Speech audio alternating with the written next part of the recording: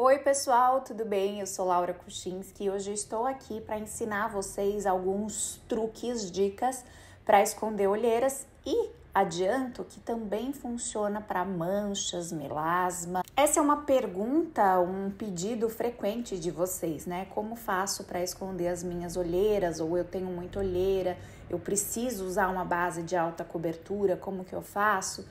E a dica que eu dou, tanto para quem tem olheiras muito marcadas, eu mesmo tenho, elas estão melhores depois de um procedimento que eu fiz, mas eu já tô até precisando refazer, então elas ainda são aparentes. E aí, uma coisa que você pode fazer é usar corretivo colorido. Para que o corretivo colorido? Para neutralizar a sua olheira. Eu vou falar aqui nesse vídeo olheira porque é o que eu tenho aqui mas você pode também usar as mesmas dicas para manchas, melasma, tá bom? A ideia do corretivo colorido é neutralizar a olheira, a mancha. Então, se eu tenho uma olheira roxa, eu vou usar um corretivo é, é uma olheira meio roxinha, né, meio marronzinha. Eu vou usar aí um corretivo entre o amarelo e o laranja, né, o salmão que é aquela ideia das cores complementares. E aí você vai pegar o corretivo colorido para neutralizar. Só que quando você usa corretivo colorido, você precisa fazer isso antes da base, tá? Porque ele vai colocar uma cor aqui. Isso também funciona, por exemplo, para espinha, mancha de espinha que fica vermelhadinha, só que aí o corretivo é verde, tá? Tudo vai depender, você vai precisar dar uma olhadinha aí um círculo cromático, posso deixar aqui para vocês quais são as cores que anulam, né, que neutralizam quais cores, mas é importante você ir testando, tá? Porque às vezes a gente acha que tem uma, uma olheira roxa e na verdade ela é marrom, enfim. E aí, é, quando você passa o corretivo colorido, vamos pôr numa espinha vermelha ou uma manchinha de espinha vermelha, você passa o corretivo verde, ele não vai deixar completamente da cor da tua pele. Ele vai dar uma neutralizada, mas vai ficar aquele verdinho. Então, você precisa vir com a base por cima para aí esconder esse esse corretivo colorido que você passou, tá? Eu vou usar aqui um corretivo amarelo, que é um corretivo que eu já sei que funciona para minha olheira.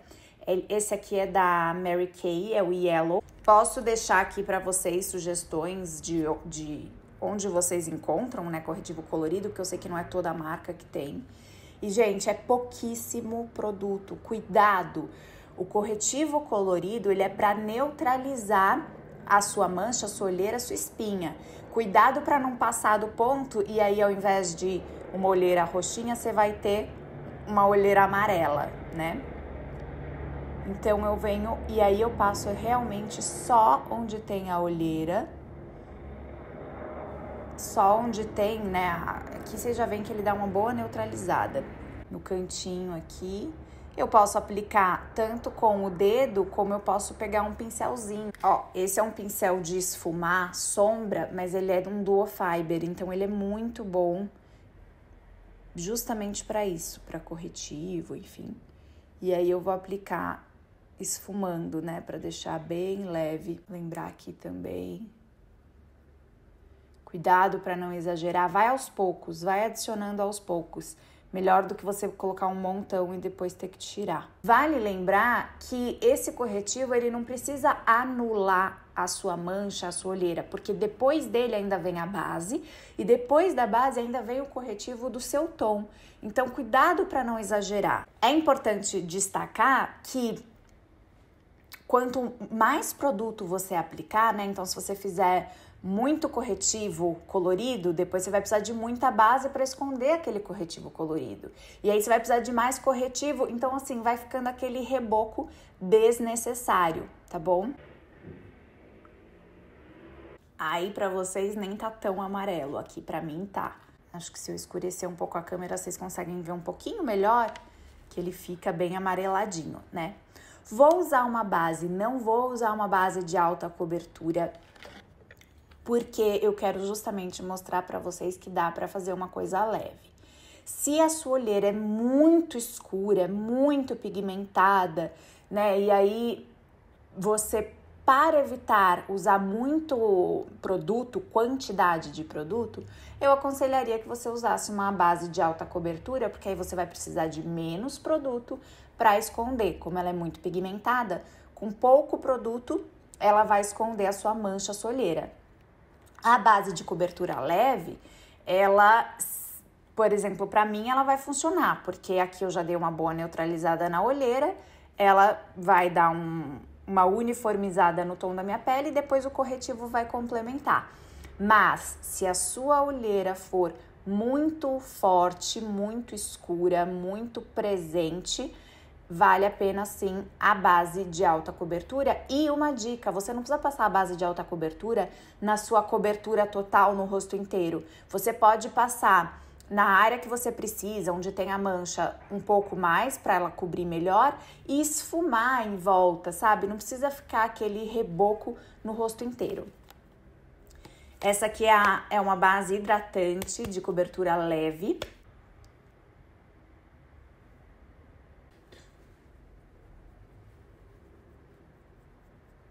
Outra coisa importante, vai passar a base Cuidado para não arrastar muito o pincel para não tirar o corretivo de baixo, porque você está passando um produto líquido, né, cremoso em cima de outro.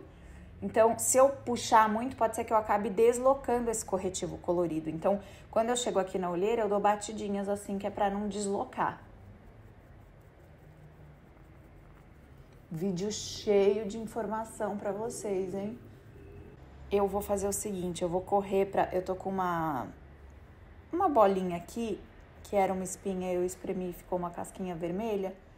Eu vou pegar um tiquinho de corretivo vermelho só para exemplificar para vocês. Nem precisaria, porque não tá nada muito forte, então eu falei corretivo vermelho, corretivo verde. Vou pegar um pincel mais firme, mais preciso, porque aqui é, é muito pontual. Cuidado para não deixar muito verde, hein?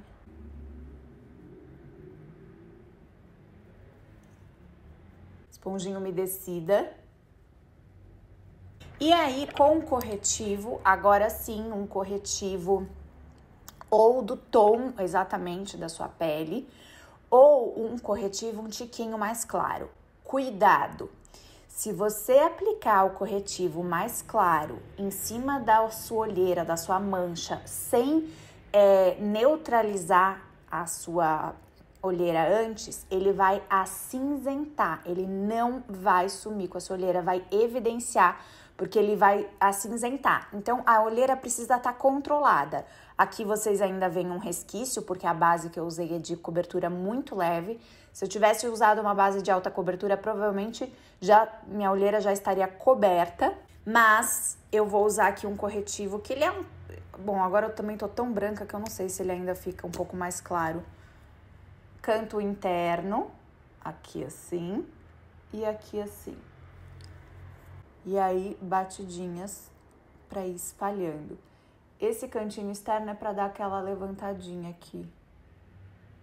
Vai aos poucos, cuidado para não exagerar na quantidade de produto.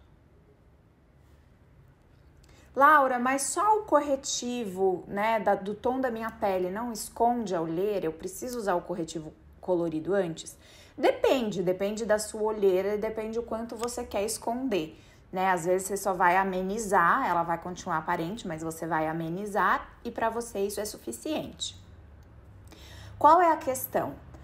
A questão é que se você quer cobrir a sua olheira, é, se você não usa um corretivo colorido, você vai precisar de uma quantidade maior de corretivo comum para sumir com a olheira. Você vai precisar ficar aplicando, aplicando né, camadas para neutralizar, a olheira. Então, vale mais a pena em casos né, de manchas muito evidentes, de olheiras muito fortes, vale a pena o corretivo colorido.